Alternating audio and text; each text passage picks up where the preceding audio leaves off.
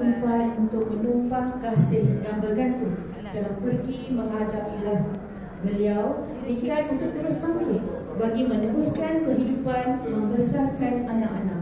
Segala perit, jerit dan keringat telah dicurahkan kepada anak-anak. Dan hari ini ketiga-tiga anaknya telah berjaya menjadi seorang pegawai bank, guru dan petugas beruniform.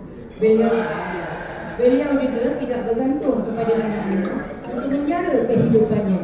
Namun sering menerapkan sikap berjimat cermat. Ini kerana sehingga ke hari ini dengan usia 70 tahun beliau masih berupaya untuk bekerja di Pesaka Ventures Jalan Tun Razak dengan menaiki motosikal setiap hari. Beliau seorang yang kuat semangat, tidak pernah menagih simpati untuk dirinya. Banyak kudrat yang diberikan apabila puan menjalankan ke aktiviti kebajikan. Oleh itu, pihak puan dengan ini menobatkan beliau sebagai idola Kuah tahun 2022.